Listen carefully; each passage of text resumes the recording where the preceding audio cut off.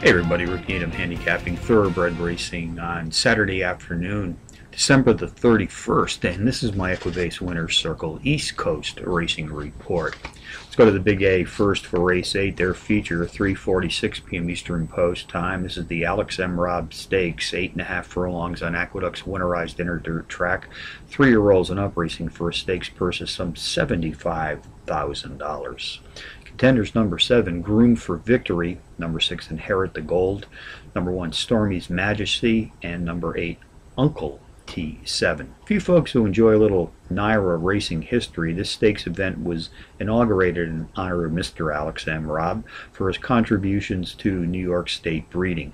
In 1932, Mr. Robb became associated with New York breeder Willis Sharp Kilmer and took charge of racing and breeding interests 1942, Robb became the first executive secretary of the Thoroughbred Racing Association in 1946. He was invited by George B. Widener to be secretary treasurer of Westchester Racing Association and the general manager of Belmont Park.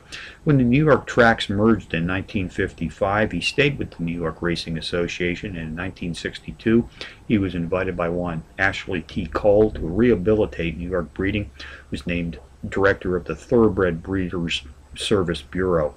Alex M. Robb passed away in 1985.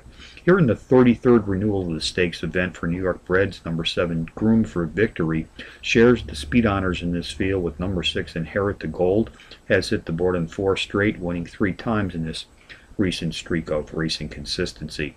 Jockey Ramon Dominguez and trainer Richard Dutrow Jr. sent him to the post. They've whacked the tote board with 69% of more than 125 entries saddled as a team to date.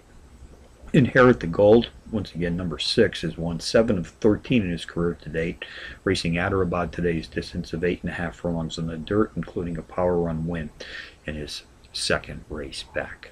Race 8 summary number 7, Groom for Victory, tops my contenders list on New Year's Eve day which also includes number six, Inherit the Gold, number one, Stormy's Majesty, and number eight, Uncle T 77618. In the eighth today from Aqueduct, the $75,000 Alex M. Robb Stakes. Go to Gulfstream Park in Hallandale Beach, Florida next race 5 to 25 p.m. Eastern Post Time. 9 furlong route test on the turf fillies and mares 3 years old. An up race for an optional claiming purse is some $64,000. Contenders number seven in the rough, number six Desert Sage, number three Roman Robin, and number four Unbridled Essence. Number seven in the rough, a six to one shot, is the overall speed leader in this optional claiming field, racing at today's distance of nine furlongs on the turf. Has produced power run performances in five straight, hitting the board in three, including a power run win in her second race back. Number six, Desert Sage, a British bred entry, is the pace profile leader in this field. Has also hit the board in three of her last five adventures, winning twice in this recent streak of racing consistency.